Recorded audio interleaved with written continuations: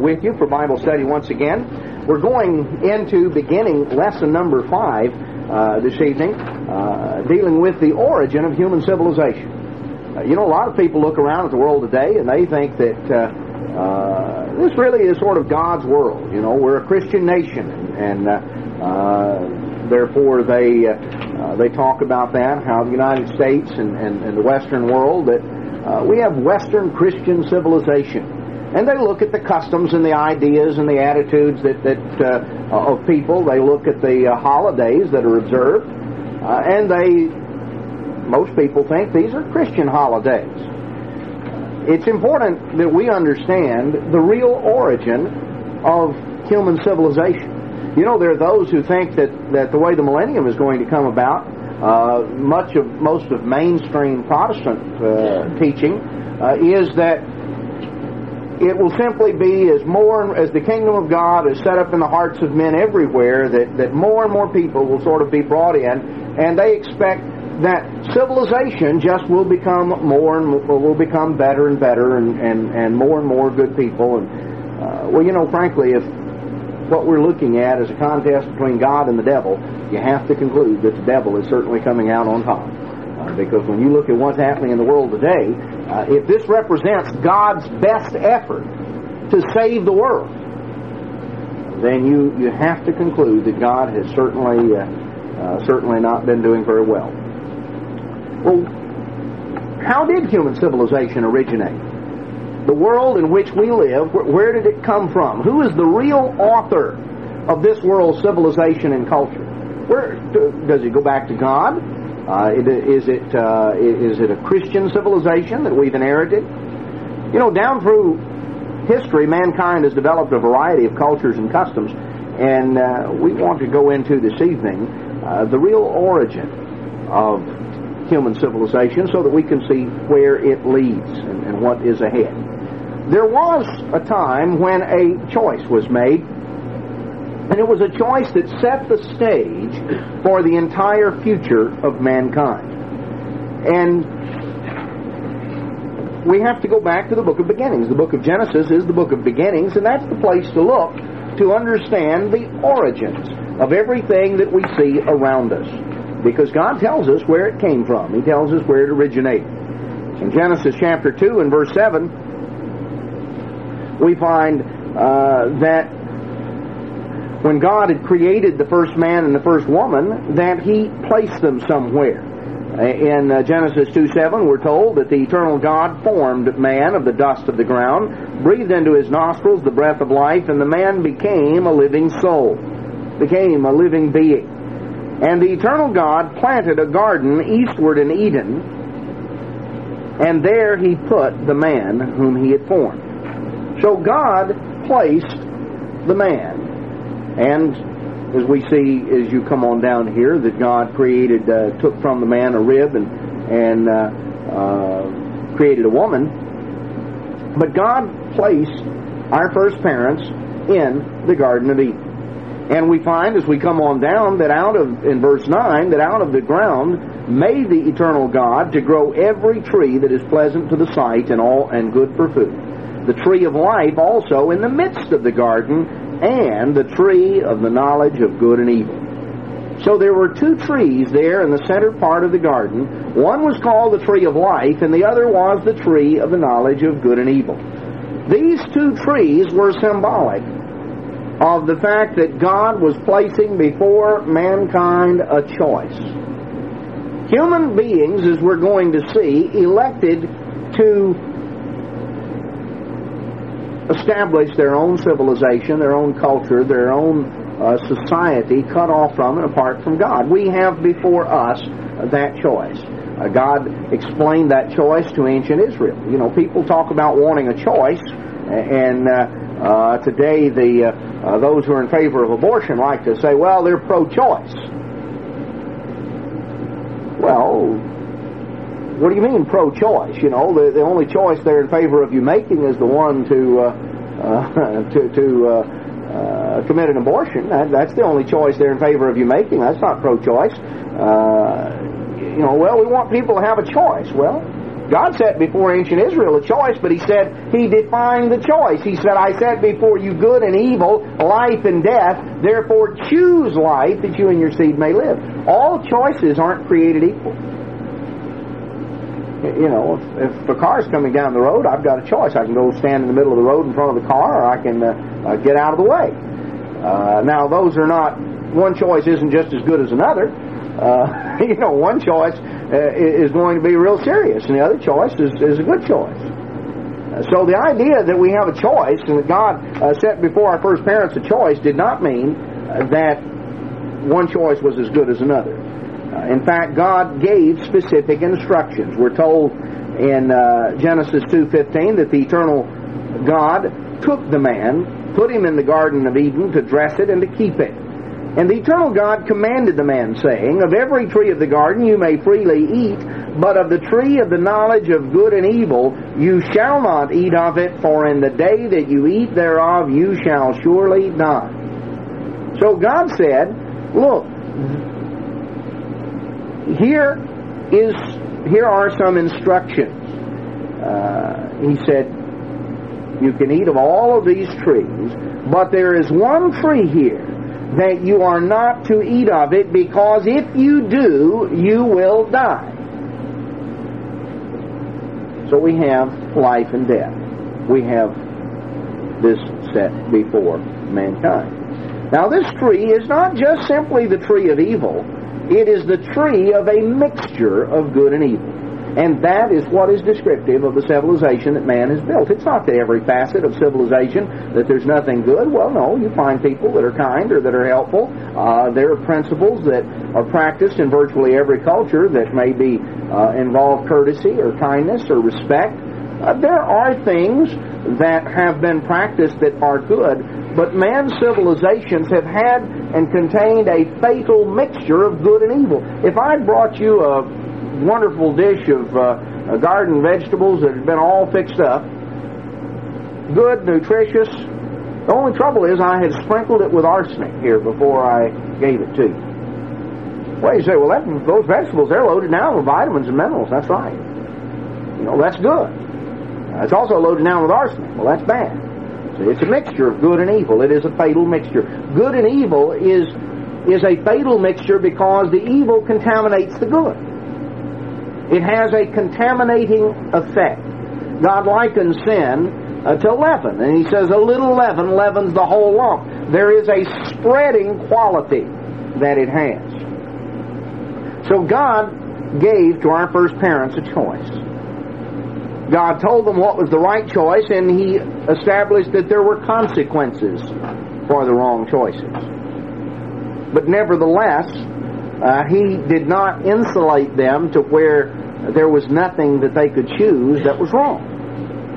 They ultimately were going to have to establish godly character by choosing the right and rejecting the evil. Now, you know, some people misinterpret that, mis- misappropriate the example, applying it to their children. Say, well, you know, I give my kids a choice. Uh, it was interesting. I uh, uh, was very gratified to hear a few days ago, was talking with uh, one of our uh, men up in the Lufkin area, and he was mentioning a young lady that had visited our services uh, there the previous Sabbath. And I said, Well, I'm delighted to hear about that. I said, You know, I remember her as a teenager when she was about 16 or 17, and uh, that was back in 1979 when I first moved uh, to Houston and was pastoring Lufkin. And her father had been a long-time member uh, of the church had become just sort of soured by various problems and various things, and and uh, the result was everything was falling to pot, including his own family. And and uh, I had heard word that his daughters were uh, going out to the football games on Friday night and various things. And I went out to visit him, and he said, "Well, he said, I give my kids a choice." You know, the Bible says give them a choice. And I said, well, me, uh, how do you present that choice to them? Do you say, uh, well, you want to sit home and do nothing, or you want to go out and have fun? I said, is that the way you, you present the choice? Is it you, you want to go to the ball game and, and uh, Friday night, or you, or you want to sit here with me? I said, how do you present the choice? I said, you know, God God presented the choice. When He gave Israel a choice, He said, I set before you good and evil, I set before you life and death. Choose life that you and your seed may live. And uh, I said, Is that the way you present the choice? Do you, do you make plain that, that there, there, there are two alternative ways of life? One leads to life, one leads to death. That one is right, one is wrong, one is keeping the commandments, one is breaking the commandments. H- how do you present the choice? Well, no, that was he didn't present the choice the way God presented the choice. You know, frankly, I, I, I thought at the time his daughters uh, both impressed me as having uh, a more receptive and a more teachable attitude, and, and uh, uh, it, it seemed to me at the time that with just a little bit of parental guidance, uh, there there was a uh, you, you know a set there, but they, they needed some guidance. They needed somebody to, to delineate what were the right and wrong choices. And uh, I don't know exactly what's happened to her over the years, but I was very gratified to hear that, uh, uh, you, you know, she is, I, I knew at one time years ago she had just sort of dropped out and, and, and had quit attending anywhere way back, you know, that's been what, 16 years ago. And the point is, God gives us a choice and He makes plain what the choice is. And He told Adam and Eve, I've set before you a choice, uh, good and evil. And He gave, in, he gave instructions about which was the proper choice. Now, so we see that man had, uh, that God established a, uh, God established a structure. We look here at the origins uh, of the whole future of mankind, of mankind civilization. You know, Mr. Armstrong uh, used to keep going back to the two trees. And uh, needless to say, we haven't heard a lot about the two trees in quite a few years.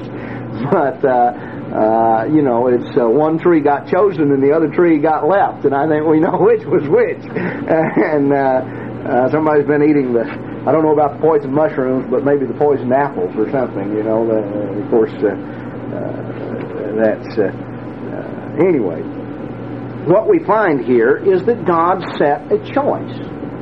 And that mankind had in this context, right here in Genesis 2 and 3 and 4, this section, we find that the trajectory was being set for the entire future of humanity.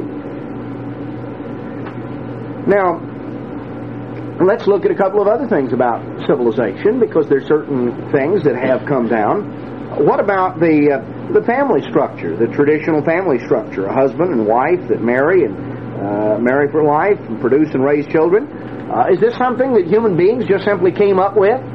You know, you listen to some of these evolutionists. Well, you know, th- these animals do it this way, and and and these, uh, and they come up with just all sorts of crazy things because they go back, they go to the wrong place, and they talk about different marriage customs and and. Uh, uh, they, they even changed the wording on the census documents because uh, when they had a uh, White House conference on families, uh, they had trouble defining what is a family because, uh, uh, you, you know, the lesbians wanted one thing and, and this bunch wanted something else, and, and it's just a bunch of craziness. Well, the origin of the family goes back to the very, that's the most basic fundamental building block of civilization. And it goes back to the very beginning. God established the most fundamental building block of civilization. He, he established the family. And we notice right here in Genesis 1, 27 and 28, we find that God created man in his own image. In the image of God created he him. Male and female created he them. God blessed them and said, Be fruitful, multiply, replenish the earth, subdue it, have dominion. So we find that God made mankind in his image, mankind, male and female in the image of God. So there is a status that we all share as human beings. There is a status of human beings in the image of God that we all have. Whether we're men or women, whether we're black or white, regardless of, of any of the physical distinctions, there is a status that we share as human beings made in the image of God and therefore deserving of, of appropriate honor and respect uh, for being just that, for being human beings. Now, just as there, God established a status, uh, the human life is, is far different than animal life. Human beings are made in His image, which gives us a status that sets us apart from all animal life. See, dogs, cats, cows, horses, all of this, they have value basically based on, on usefulness uh, to mankind, whether usefulness as a, uh, for food or usefulness as a pet or usefulness as a draft animal. Uh, their value is based on their use to human beings. Human beings have an intrinsic value because we are made in the image of God. Now, let's go on a little further. We find that in addition to our status as human beings, there is also a function that we have within the human status. You see, and this is, of course, where a lot of the modern uh, uh, group, the, the, the, some of the feminists and some of these go off the deep end, is they want to say, well, every function ought to be identical. See, equality uh, they, they, misunderstand equality because the Bible talks about if you mean we're, we're equal in several ways, you know. Uh, Solomon explains the most fundamental way we're equal. Uh, back in Ecclesiastes, he says, uh, uh, all go to one place. You, you, know, we, we go back to the dust. so whether you're rich or poor, wise or foolish, male or female, regardless of race, regardless of anything, the great leveler is death. It brings everybody to the same place, and we're all become equally dead and equally in need of the resurrection, uh, equally in need of a Savior. The Scripture talks about equality before the law in the sense that you uh, treat people fairly, that you uh, uh you don't take advantage of anyone, uh, regardless of, of their you know their their particular place in the community. But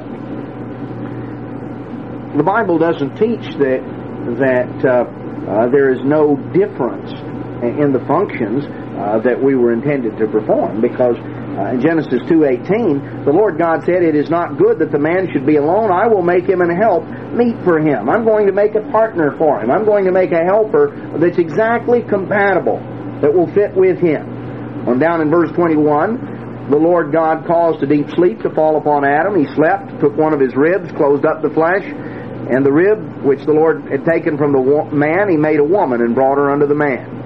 And Adam said, This is now bone of my bones, flesh of my flesh. She shall be called woman, because she was taken out of man. Therefore shall a man leave his father and mother, cleave unto his wife, and they shall be one flesh. God established marriage. He established the family. He established the structure of a husband and wife. God created one man and one woman. He didn't create one man and a whole bunch of women. He didn't create one woman and a whole bunch of men. He created one man and one woman, which Christ quoted to the Pharisees later on, you know, when they were uh, wanting to argue and harangue about divorce and remarriage and, and argue about the law. And he said, Have you not read that he which at the beginning made them male and female? and said, For this cause shall a man leave his father and mother and cleave to his wife. So God established the, the family structure. And he had to explain that to Adam because when he said, you know, you, you're for this cause shall you leave your father and mother and cleave to your wife, Adam would have his logical question would have been, what's a father and mother? See, he hadn't he didn't have one. God had to explain to Adam what the structure of the family was intended to be. And God told him, uh, you know, in effect, perform the first wedding ceremony. God had to explain to Adam what the family was supposed to be like. He said, "Well, you're starting out as man and woman, as man and wife, husband and wife, and you'll have children, and they will grow up, and they will need to then leave your home. You'll be the father, and Eve will be the mother, and they'll need to leave and establish their own family unit." And he had to explain that to Adam in terms of the family and how it was intended to function. So the the origin of the family and the proper role of the family, the defining uh, aspect of the family, we look right back here. God established that. He established settled agriculture to be the basis of human civilization. Uh, we find he put uh, the, took the man, uh, Genesis 2.15, put him in the Garden of Eden to dress it and to keep it. You know, a lot of uh, evolutionists have the idea, well, you know, people wandered around as hunters and gatherers for a long time, and and, and uh, God put them in the garden. He gave them instruction about agriculture, about how to take care of the ground, uh, how to take care of the plants, to dress it and to keep it. Uh, he didn't create mankind simply uh, to to live in some sort of a savage state. God established agriculture as really the basis of, of society and the community. Uh, that uh, you know, gives, I, I, frankly, gives us stability uh, that way. I think a lot of the social problems we're having in our nation is the more urbanized we have become, uh, the more that people are removed from what God created. You know, when you when you're dependent on what grows out of the ground about whether or not you eat, uh, it does have something to do with, with sort of focusing you on on who's the source of everything. You know, today people think that uh, you know all they're dependent on is, is what's in the uh, what's in the supermarket. Well, where did they get it in the supermarket? It came ultimately came out of the ground. But the further removed people get from what comes from God, and the more they are uh, with what comes from from simply from uh, man's technology, uh, it, it has an effect. Well, as we come on down, we find that right at the beginning, God established a structure. He set up the family. But you know, Satan has been out to undermine the governmental structure that God created by trying to get to the man through his wife. And God, uh, Satan has worked to distort uh, and disrupt the family structure. God created Adam and Eve to function uh, as partners. He, he established uh, a, a structure uh, there was a difference in structure that uh, is, explained in Hebrews in 1 Corinthians 11:3 that that uh, Christ is the head of the man and God is the head of Christ and the man is the head of the woman. And, there there is a structure that comes down. But you know, God created Adam and Eve as as a team. They were partners. She was a help meet for him. And so what we've seen through time is primarily a matter of either uh, men abusing uh, their authority to sort of uh, grind down uh, their wives, or the, the flip side, as we see so prevalent in our society, of things swinging to the opposite end. Uh, Satan has always wanted to undermine the family, to make it something other than what God intended it to be. And that's what we see in Genesis 3.1. The serpent was more subtle than any beast of the field which the eternal God had made. And he said unto the woman, Yea, has God said, You shall not eat of every tree of the garden? And uh, so he begins to get to the woman. He is trying to undermine the structure in, in the family. So he doesn't go to Adam. Uh, he, he, is uh, uh he's trying to disrupt the harmony of the family by by not following the structure that God has has set in motion. So we find uh, that as we come on down, uh, he talks to her about eating of the tree of, of the knowledge of good and evil. And we find in verse 6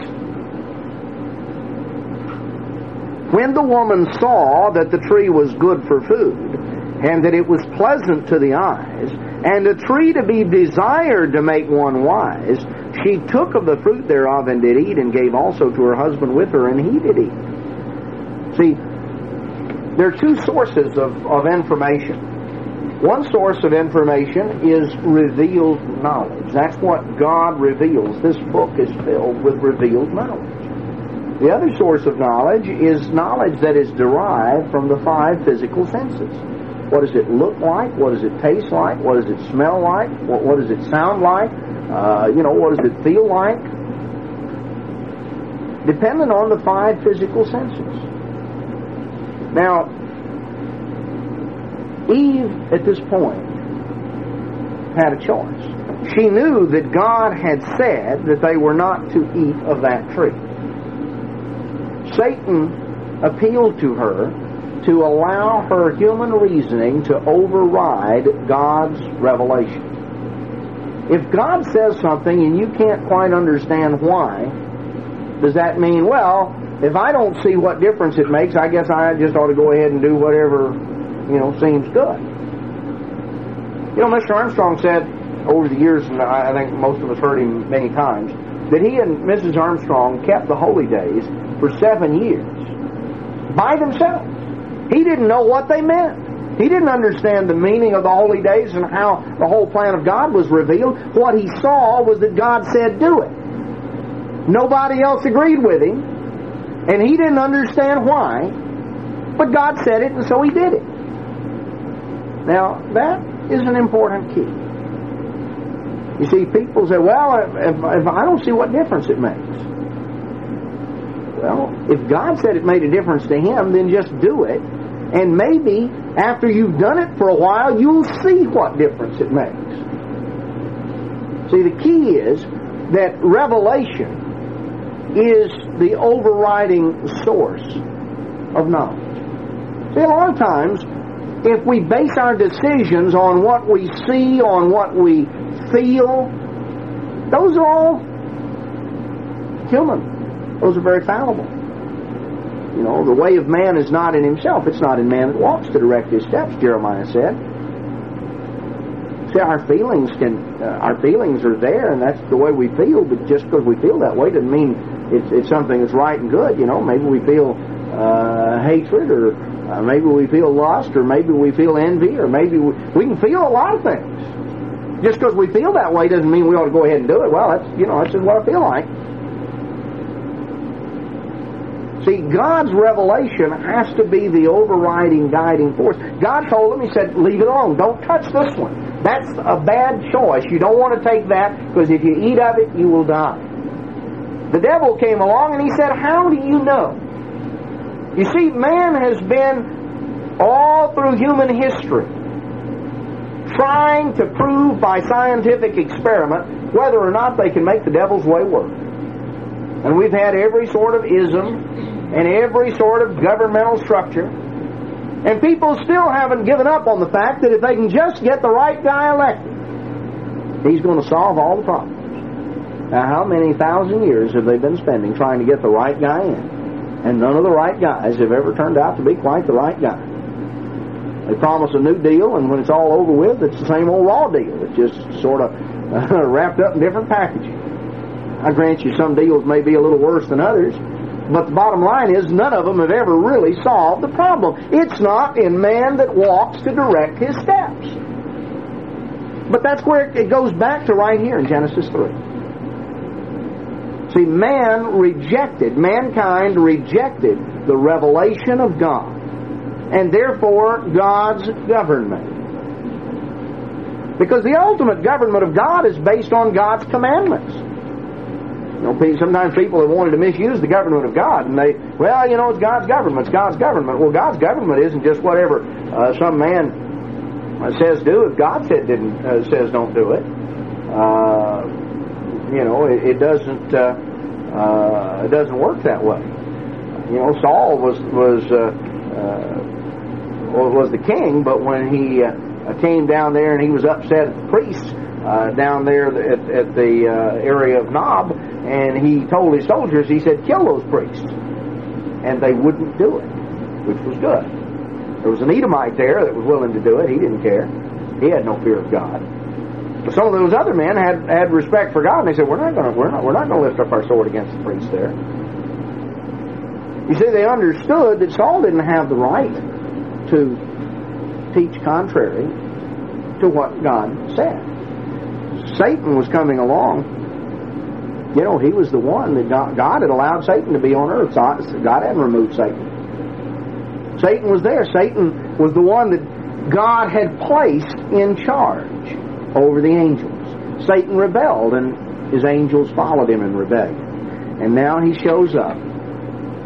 And in his own clever way, he is trying to undermine God into saying, you, you know, you don't have to just do what God says.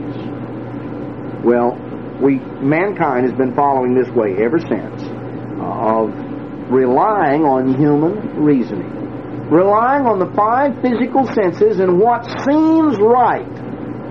You know, Proverbs tells us there is a way that seems right unto a man, but the ends thereof are the ways of death.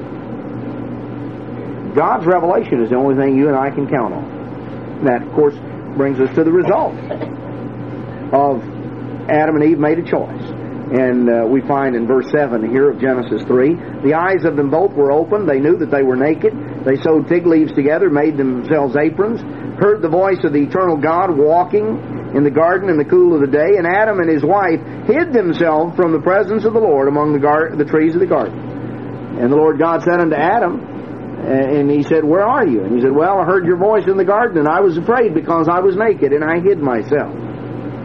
Well, as we come on down, you know, we find that ultimately, verse 23, the Lord God sent him forth from the Garden of Eden to till the ground from whence he was taken. Adam and Eve made the wrong choice, and by that choice, they cut themselves off from God. They separated themselves from God. And mankind, the descendants of Adam and Eve, have been cut off from God ever since. And the only way that we can have access to God is that God chooses to make himself accessible, to call. Of course, we have to choose to answer. People people talk about God calling. Well, that's right, God calls, but you know, uh, we have to answer. Christ pictures himself uh, knocking at the door, but you know, somebody knocks at the door, you have to make a choice of whether or not you open uh, the door. So we see here the basis of, of what happened that mankind made choices. Going back to our first parents, they made a choice to rely on human reasoning and the five physical senses in preference to relying on the revelation of God, and man's choices have cut mankind off from, from God, from really walking with God and really uh, knowing God. You see, all subsequent human beings derived from Adam and Eve. That's proven right here in Genesis 3.20. Adam called his wife's name Eve because she was the mother of all living. See, all human beings derive back to Mother Eve. And her name Eve is derived from the Hebrew word uh, kava, which means literally life. And uh, so he called her name life.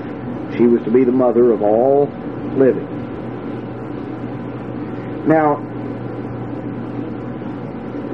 we find that mankind built up a civilization, and man's civilization stems from this account right here in Genesis 3.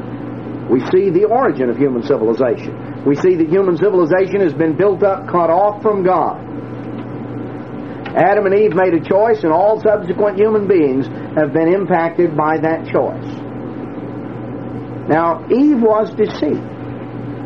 She was deceived by Satan the devil, and it's very plain when we look back in Revelation chapter 12 that that same Satan has been deceiving the descendants of Adam and Eve uh, ever since.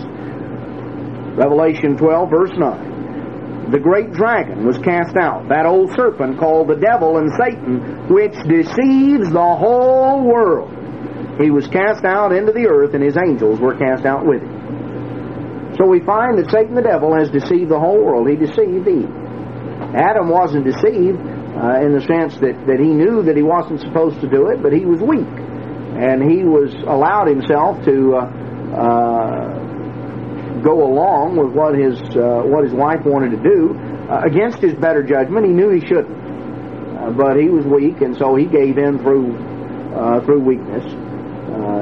And but Satan has been working on human beings ever since. So we we find in Genesis chapters two and three the story of a choice that set the tone for the entire future of the history of mankind the origin of man's civilization goes back to events that happened in the Garden of Eden almost 6,000 years ago. Now, you know, that's not where the history books start. Uh, that's not, uh, but that's where the real history book starts. That's where the, the, the real uh, the real origin of human civilization. Now, this pattern of, of civilization that was established by the family of Adam and Eve continued on. Over the course of the next uh, generations, the foundations uh, of, of early civ- uh, human civilization were, were laid and built upon by Adam and Eve's children. And there are certainly lessons that apply to us today. Because Jesus Christ uh, said that the world as it existed in the pre-flood world, the world prior to the flood of Noah, was a time that paralleled or that would parallel the times in which we're living and the times ahead of us. He said that As it was in the days of Noah, so shall it be also in the days of the coming of the Son of Man. So there is a distinct parallel. There is a pattern of human nature. And so, uh, in the remainder here of the Bible study, we're going to focus in a little bit on the story of the pre-flood world and understand a little bit uh, as to what was involved. This is on the back side here of uh, uh, the story of the pre-flood world. Now, let's go back here to Genesis chapter 4 and let's understand a little bit. We find that Adam and Eve were expelled from the garden. And in chapter 4, uh, verse 1, we find that Adam knew Eve, his wife, and she conceived and bore Cain, and said, I have gotten a man, uh, literally as it, as it is in the Hebrew, I have gotten a man, the eternal, and she again bore, or she added in bearing, his brother Abel. Now, uh, the Jewish commentators bring out that, that uh, this, this wording is an indication that Cain and Abel were twins. It doesn't say, uh, as it normally does, that Adam knew his wife and she conceived and bore Abel. It just said she again bore, or she added in bearing, Abel. So very likely Cain and Abel were twins, uh, but they were very different twins. Abel was a keeper of sheep, and Cain was a tiller of the ground. And in the process of time it came to pass that Cain brought of the fruit of the ground an offering unto the eternal. And Abel he also brought of the firstlings of his flock and of the fat thereof. And the Eternal had respect unto Abel and to his offering, but unto Cain and to his offering he had not respect. And Cain was very wroth, and his countenance fell. Cain got upset. He was mad because God didn't like his sacrifice as well as Cain's, as well as Abel's. He obviously had not followed the instructions. He wanted to do it his own way and was upset because his way wasn't uh, acceptable. And God told him, He said, Why are you upset? Why is your countenance fallen? Verse 7 If you do well, shall you not be accepted? You know, if you do what you're supposed to do, that'll be accepted. If you do not well, sin lies at the door. And unto you shall be its desire, but you must rule over it. In other words, he warned Cain. He said, Cain, if you do what you're supposed to do, it's, it's not that I like Abel and don't like you. But Abel's actions are the actions that I request. If you do what you're supposed to do, you'll be accepted as well. But be warned, sin lies at the door. Sin is waiting there, crouching, ready to pounce. Its desire is going to be to pull you down. You've got to overcome it. You've got to master it. So Cain was given a sermon on overcoming. So when it was not just because he had brought a difficult, he just hadn't brought. I mean, in other words, if he would have brought the very best of what he had, That's right. would have been all right. It says right here, uh, you see that Cain brought of the fruit of the ground. It didn't say he brought the first fruits. It didn't say he he. It says of Abel that Abel uh, brought of the firstlings of his flock. See, Abel brought the best. It says Cain just simply brought of the fruit of the ground. I think there are probably a couple of different things here.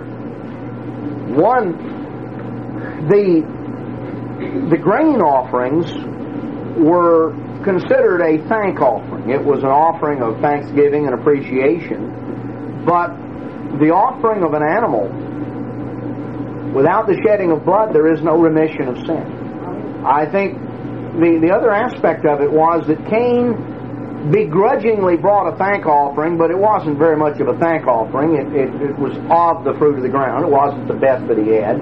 It was sort of, he had, uh, uh, you know, a few old scraggly ears of corn left over, and he decided to bring those to God. Uh, so ultimately was his attitude. I think the aspect Cain did not indicate by his offering that he recognized his need for a Savior. And, uh, I, you know, God had given indication back with Adam and Eve in the garden when He slew the animal and made of the and made of the uh, hide of the animal, made of the uh, coat of the animal, uh, a covering for Adam and Eve. And uh, undoubtedly explained to them uh, about everything from, from slaughter of animals to, uh, um, you know, the preparation of, of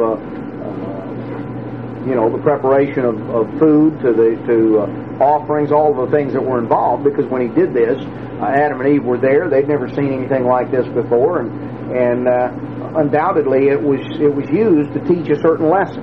But what we find is that Cain was not one who really valued God. Uh, rather, we're told that, uh, you know, by, by Josephus, the Jewish historian, that Cain was a covetous man, wholly intent upon getting. He wanted what he could get. Undoubtedly begrudged God even what he, what he brought. And, and, and you know, again, uh, Abel brought of the first uh, brought the firstlings.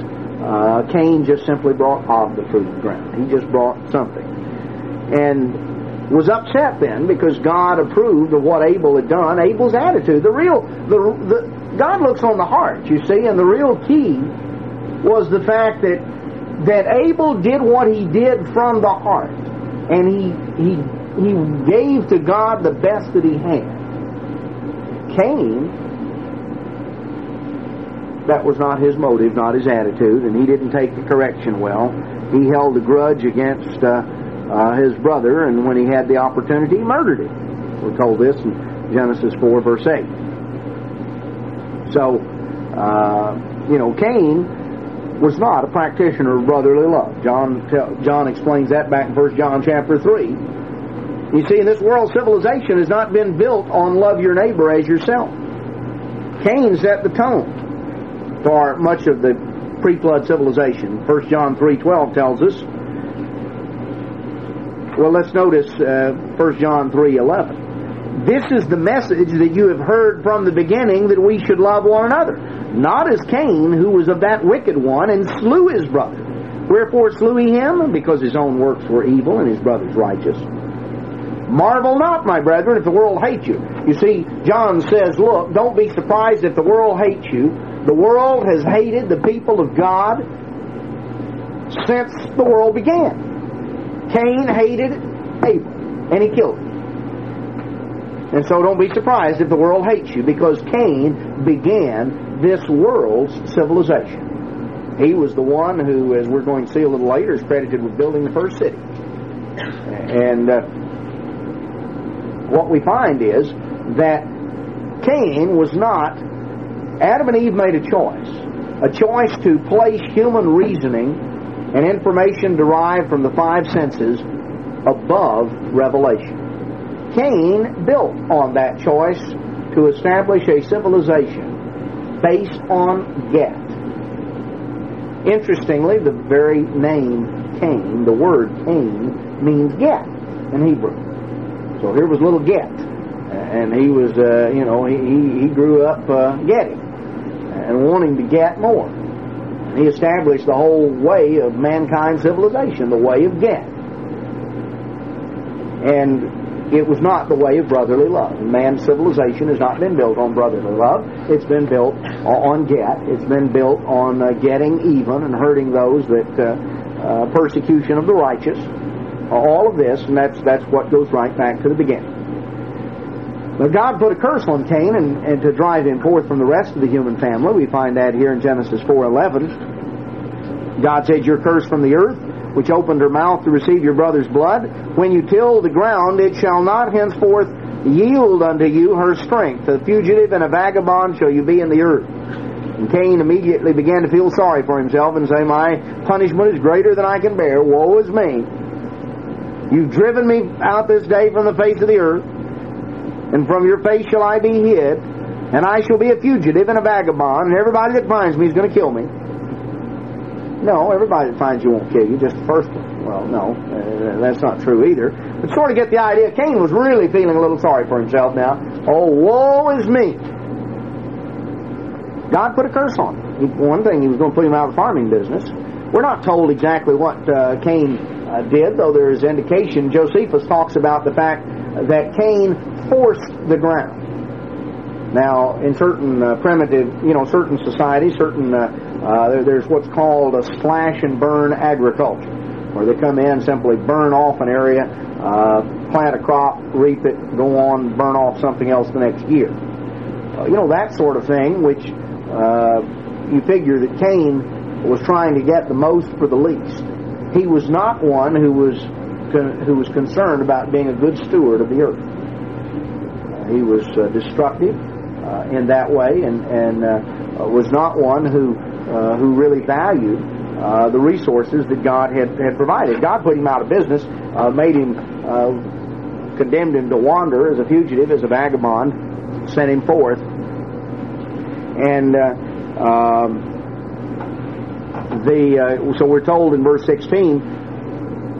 Cain went out from the presence of the eternal and dwelt in the land of Nod on the east of Eden. So Cain was expelled from where the rest of the human family lived. By this time, Adam and Eve, we're not told how many years it transpired, but uh, uh, obviously a number had gone by, uh, enough so that Adam and Eve had a number of, uh, of uh, children, and uh, the human family was still was still very small.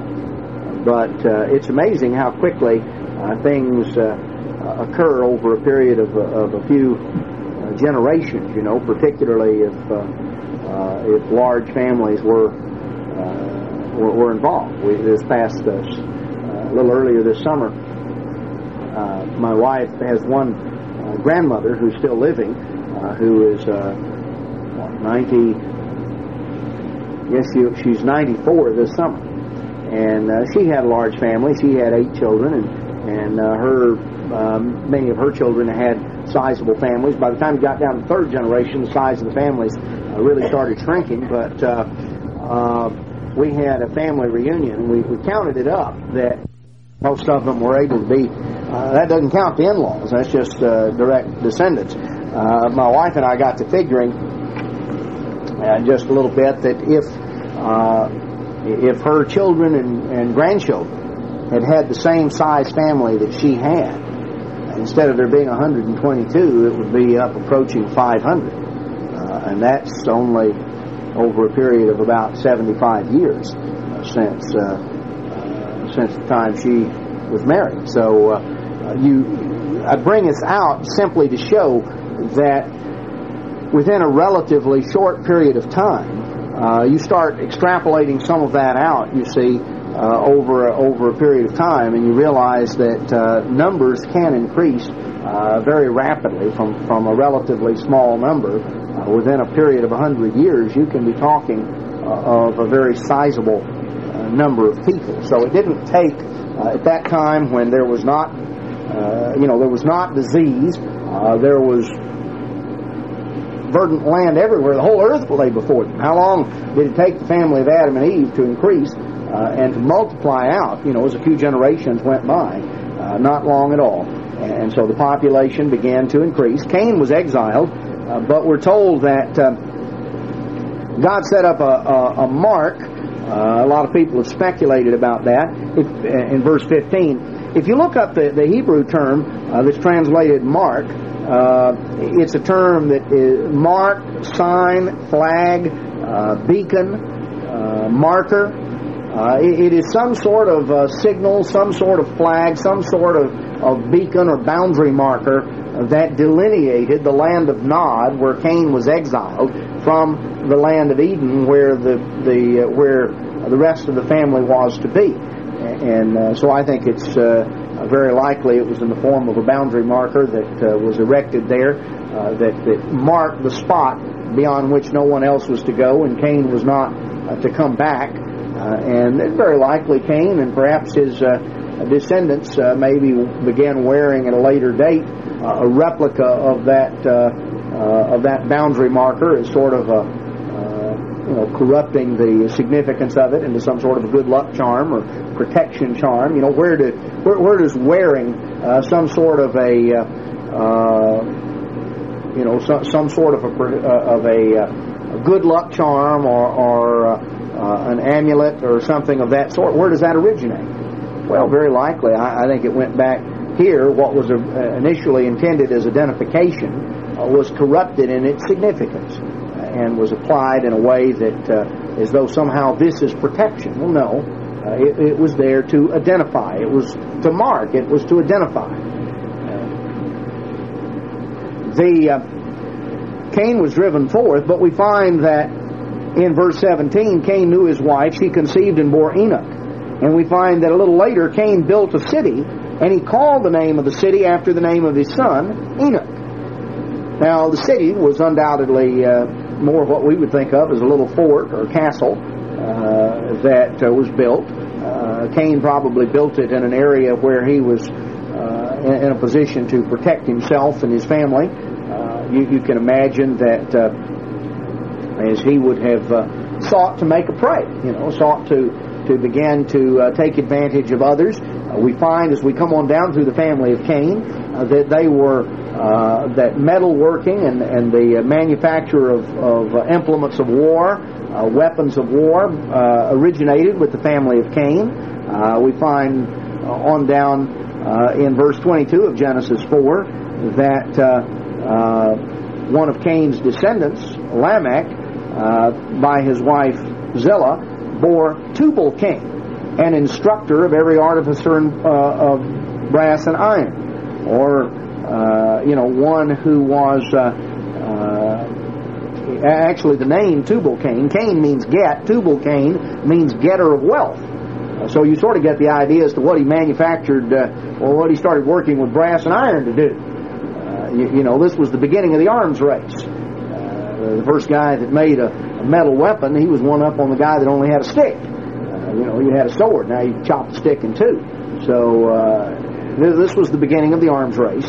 Sometimes people think that uh, uh, they solve all the problems of violence. All they have to do is, uh, you know, register the handguns. Well, that's you know, they need to go back and read Genesis 4. Uh, Cain didn't have a Saturday night special. Uh, he just picked up a stick and hit his brother in the head. Uh, you know, the problem is is in the attitude and the hearts and minds of people.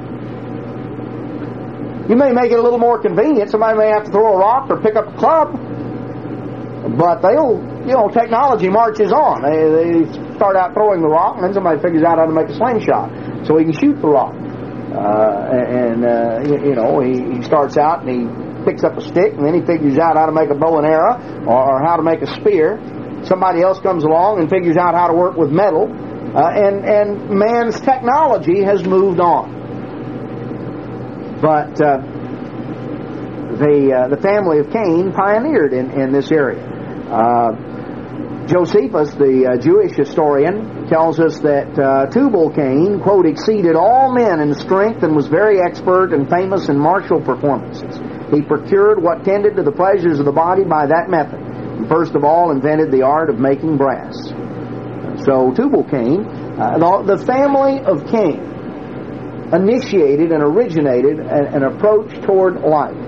Uh, the uh, uh, even in terms of music here, when it talks about Jubal, the, the father of such as handle the harp and organ. Well, uh, that word uh, handle could also mean to seize or to profane. undoubtedly, when, when you get the whole picture, there was a corrupting influence. Uh, it was the uh, initiating city life, and you find the, the violence, you find the corrupt music, you find all of the things that could have a negative influence that were there. That the family of Cain was instrumental uh, in things that, in misusing talents and abilities. You know, to, to, to construct a metal plow or a metal hoe or a metal shovel uh, could have been very, very helpful. And they may have made some of those, but it didn't take them long to corrupt uh, some of this and to use metal to uh, uh make implements of war, things to uh, to hurt, to seize, to uh, to do different things. So we see that um, the origin of of, uh, of civilization that is described right here and uh, where it originated. As we come on down, we find in verse 25 of, of Genesis 4 that Adam knew his wife again, and she bore a son and called his name Seth. For God, said she, has appointed me another seed instead of Abel, whom Cain slew. And to Seth, to him also there was born a son, and he called his name Enos. Then began men to call upon the name of the Lord, or uh, to, uh, there are a couple of ways it could be rendered. The, the marginal rendering here is to uh, uh call themselves by the name of the Lord, uh, which I think ties in with Genesis 6 1 when you uh, or Genesis 6 2, when it talks about individuals called the sons of God, uh, seeing the daughters of men that they were fair, and taking them wives of whomsoever they chose. Uh, that uh, the pagan mythology dates back. Where does it? Where does false religion go back to? It goes back to Cain. Uh, goes back to the pre-flood world. Uh, here we have uh, civilization uh, with with city life, with military, with all of the various areas. It's interesting if you go back and you look at what is laid out uh, in Egyptian mythology, at the uh, at what is is brought out. You find that uh, uh, they introduce two first man and woman, or they they introduce the original. The, the, the, names for the original god and goddess, uh, or the, uh, the the first parents, and and then and they, they don't really have a whole lot about them, but then they go down to their son, uh, who was the inventor of agriculture and the one who was the giver of civilization, very much descriptive of Cain, and uh, uh, they identified uh, him as Horus, and they countered with Seth uh, who was the uh, the and, and this is exactly the story you find here. You come on down through uh, these things, you find that there was a time when men uh, began, as it indicates here in, in 426, to call themselves by the name of the Lord. Uh, they began to appropriate the name of God. Undoubtedly, the family of Cain, uh, viewing him and, and later time as being uh, as worthy of worship, and Cain uh, began, uh, being the focus of, of much of that. It's interesting that Saturn, the father of the gods, in, in Greek and Roman mythology, the Hebrew word for that's translated in, in Genesis 4:14, where it says, "From your face shall I be hid."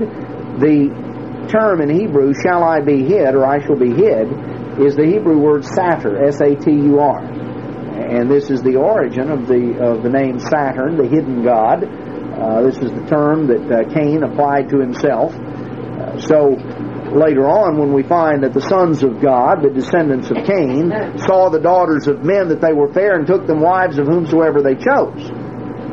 You know, some some try to say, well, sons of God, maybe that was talking about the angels. Well, there's nothing in this context about any sin that angels were committing. The result of this was in verse 3 God said, My spirit shall not always strive with man. He didn't say, I'm not going to always strive with, with angels. And of course, we're told in, in uh, uh, we're, we're, told uh, elsewhere that, um, you know, angels neither, uh, uh, neither marry nor are given in marriage. Uh, there's no indication that angels can marry or mate. In fact, Christ says that angels don't marry. But we do find that there were there were individuals. Now, the term sons of God can be used in several ways. It's used to refer to Adam as being a son of God by creation. It's used to refer to righteous, uh, the righteous as being the sons of God. Uh, clearly, the ones mentioned in Genesis 6 2 weren't the righteous. They were doing something that God wasn't pleased with. Um, they weren't referring to angels. So the only thing left is human beings that appropriated to themselves divine titles. The begin, those who were involved in the beginnings of false religion uh, and appropriated to themselves divine titles. And uh, uh, undoubtedly the family of Cain that we that we find here. And so there began to be the wrong kinds of marriages. They took they saw the daughters of men that they were fair and they took them wives of all whom they chose. Now you see, God originally divided and separated the nations, and He divided and separated the various races. Uh, and it goes back to the time of Adam. God says in Genesis Deuteronomy chapter 32, Deuteronomy 32 verse uh, 7. Remember the days of old. Consider the years of many generations. Ask your father, and he'll show you. Your elders, and they'll tell you. When the Most High divided to the nations their inheritance, when he separated the sons of Adam, he set the bounds of the people according to the number of the children of Israel. God originally separated the sons of Adam. The, the racial groupings go back to, to the time of Adam. God built into Mother Eve uh, the uh, into the uh, the uh, uh the ova that were in, in her womb, uh, he built in the characteristics, uh, not of her parents, because she didn't have it. He built in the characteristics that would give rise to the various racial groups. It's not an accident. It's not a matter of evolution. God intended from the beginning that the human family would be differentiated into various groups, various families. And God designed that in, and He separated out the sons of Adam. He designed that they would go to different areas and settle.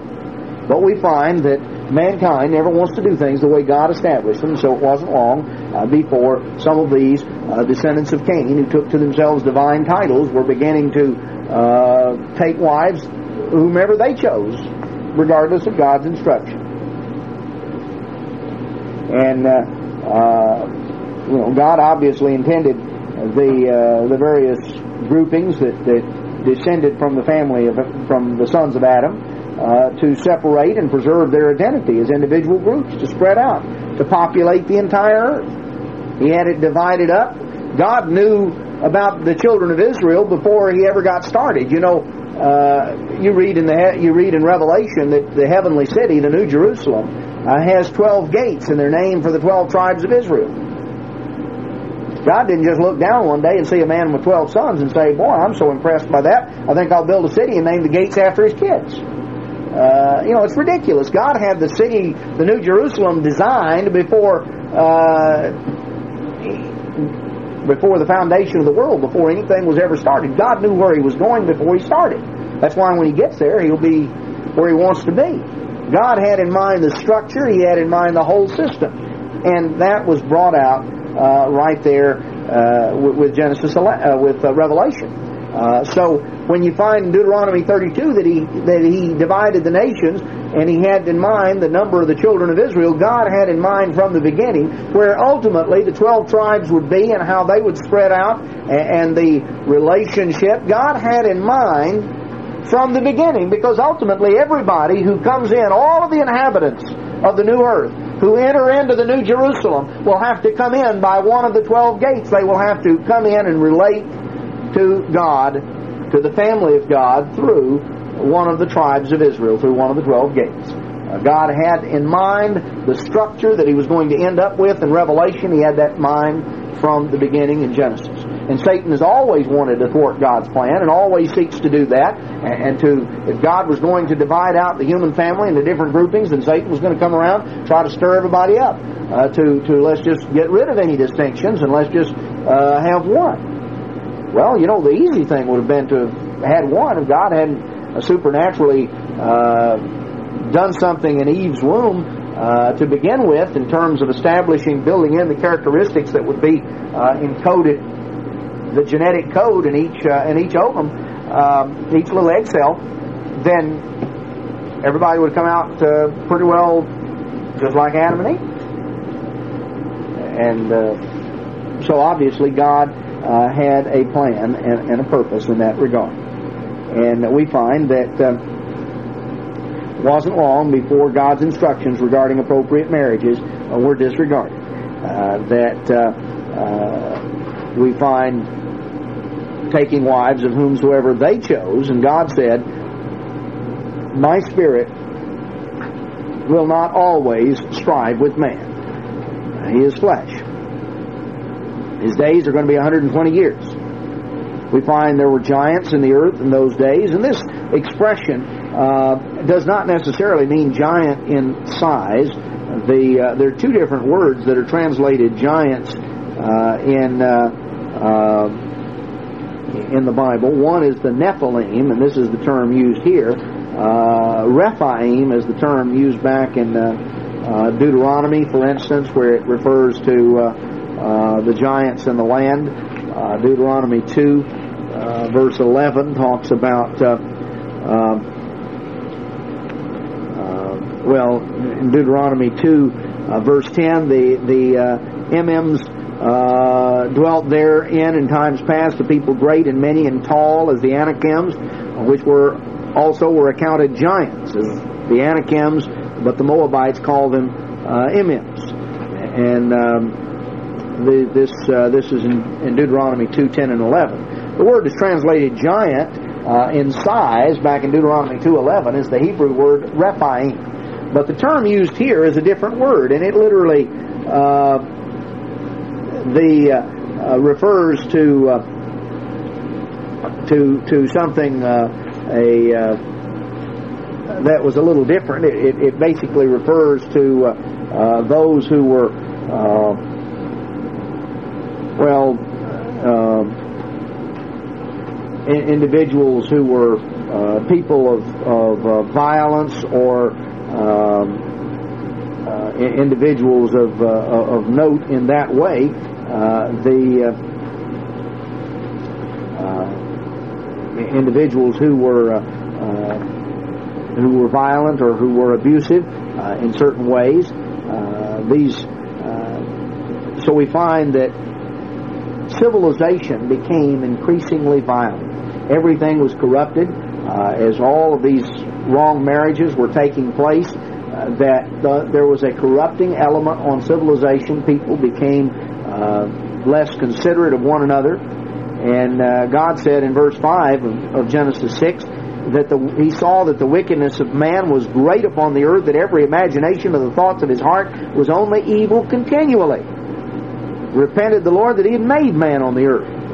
God was just so disgusted with what he saw and the way people had corrupted themselves and all of the violence. Uh, we're told on down here uh, in verse 11, the earth also was corrupt before God, and the earth was filled with violence.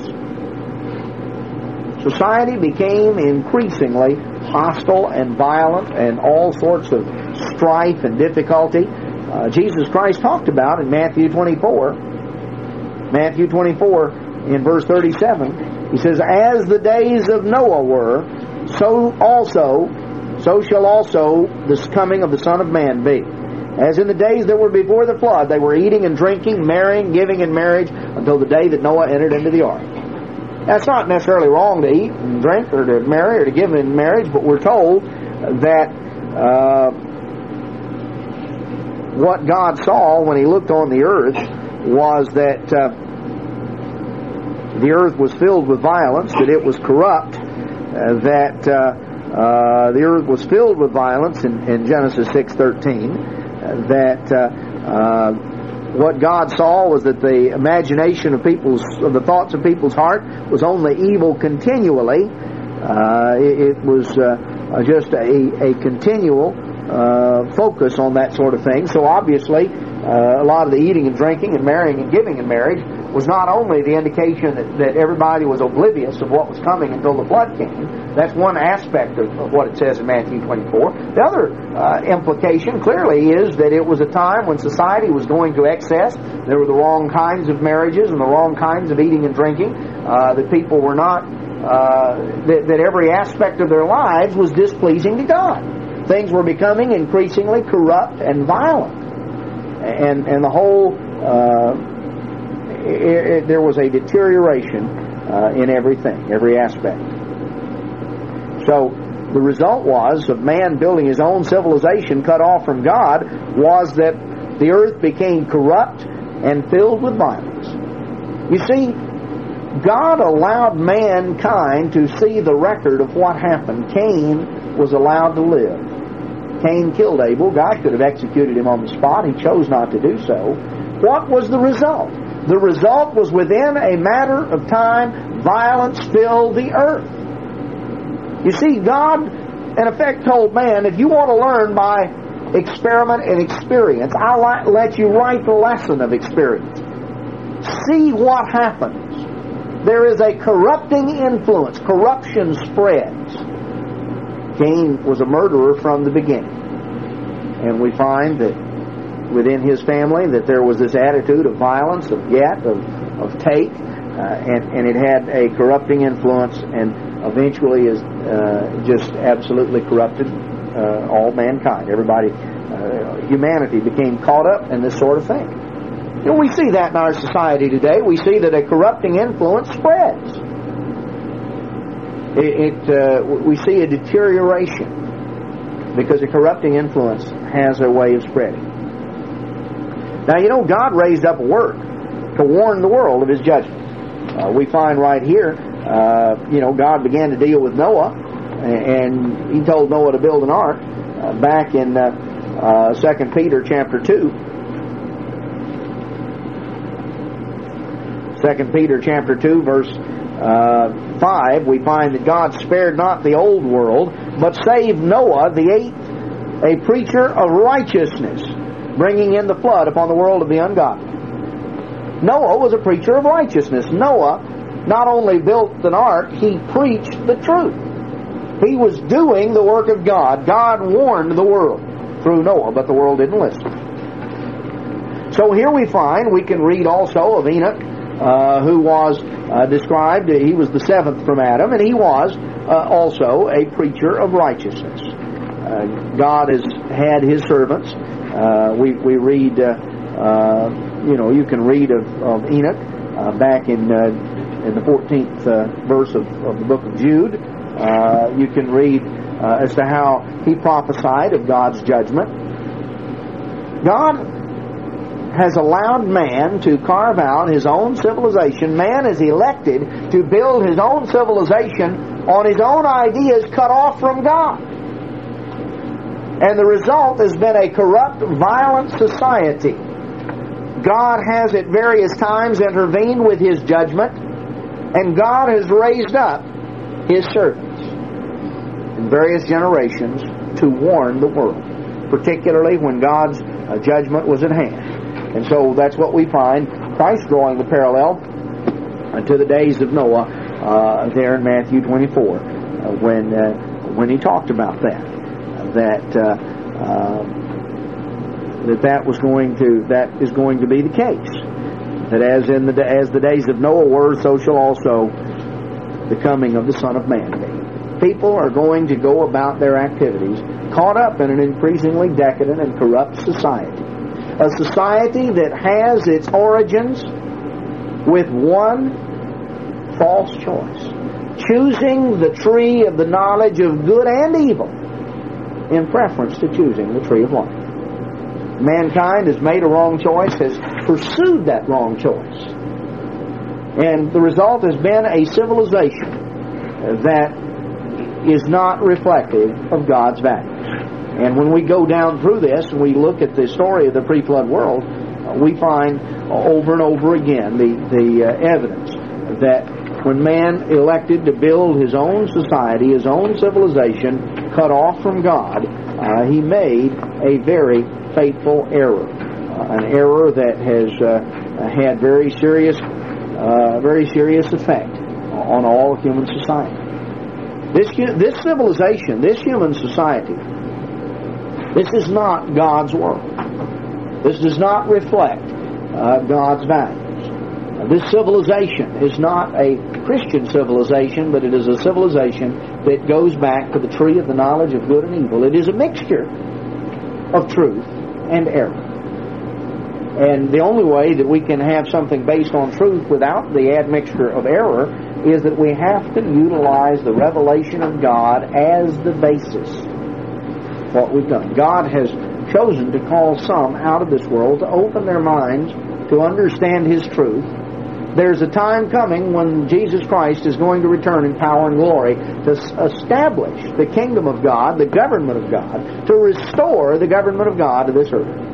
And we have the opportunity of being called of God to be a part of that.